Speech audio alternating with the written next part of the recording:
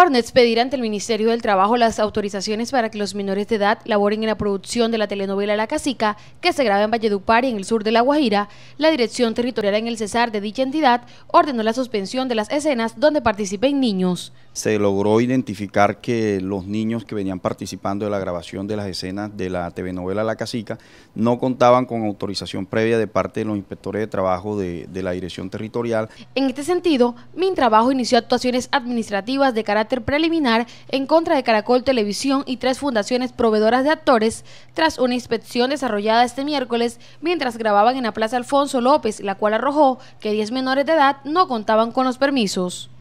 El canal Caracol y las fundaciones tendrán la oportunidad de acreditar ante el Ministerio todos los documentos que consideren pertinentes de manera que eviten una formulación de cargos